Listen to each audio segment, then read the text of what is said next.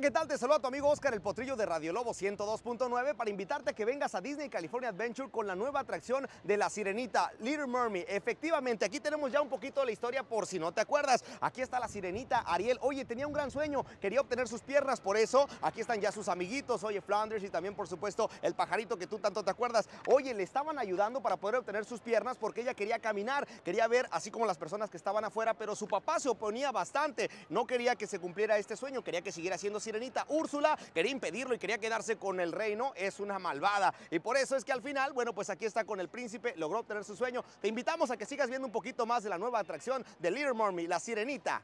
Under the sea, under the sea.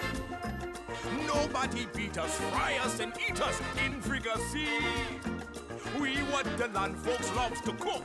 Under the sea, we off the hook. We got no troubles. Life is the bubbles under the sea. Under the sea.